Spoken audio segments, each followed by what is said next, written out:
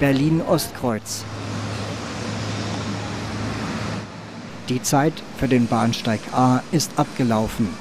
Der 1906 errichtete Bahnsteig wird morgen am Samstag im Rahmen der Umgestaltung des Bahnhofs Ostkreuz abgerissen. Damit geht nach 103 Jahren auch ein Stück Eisenbahngeschichte in Berlin zu Ende.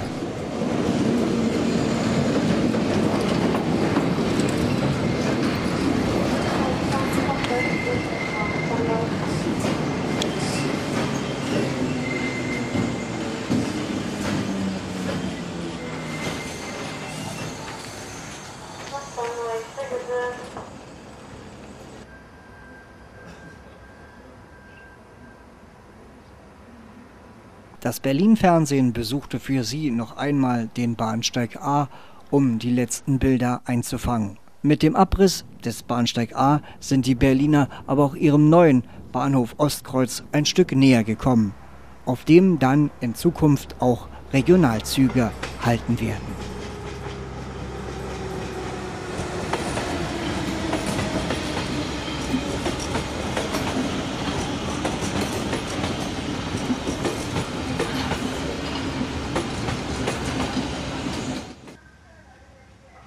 Der letzte Tag war ein ganz normaler Betriebstag, wo auch hier noch einmal die letzten Fahrgäste ausstiegen.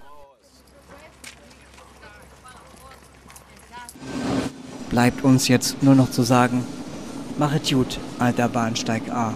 Tschö, so long und goodbye.